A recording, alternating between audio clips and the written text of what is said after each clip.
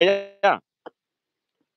Bữa này à, đi, ờ, ra rừng chơi một chút cho nó đỡ buồn.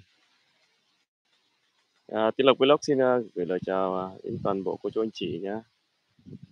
À, cô chú anh chị nào chưa lên thì cũng, ờ, ơ, vào xem sau vậy. Lên đây, à,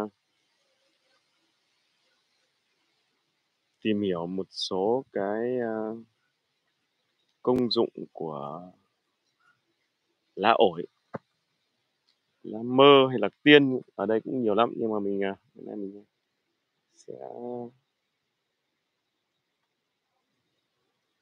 cho mọi người xem, à, à quên, giới thiệu nói cho mọi người xem, nghe cái xem cái, tác dụng của lá ổi ha.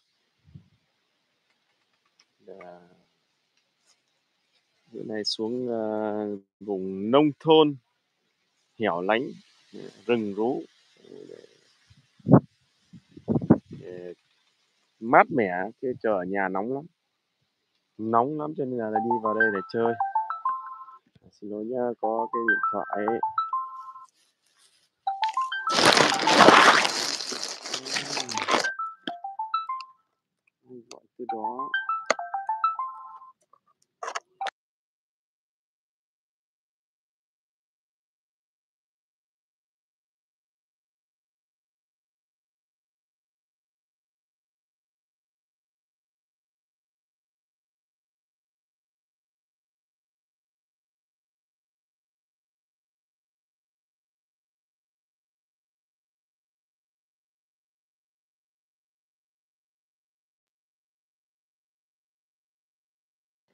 Xin chào mọi người nhá.